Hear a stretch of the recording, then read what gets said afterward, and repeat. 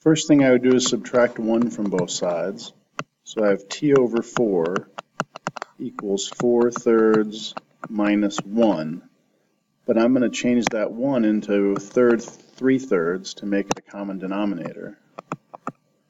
And we know that 4 thirds minus 3 thirds is 1 third. So now I have t over 4 equals 1 over 3. I can get rid of the fraction by multiplying by 4 over 1 on both sides. And so on the left I just have t, and on the right I have 4 over 3. That would be the final answer.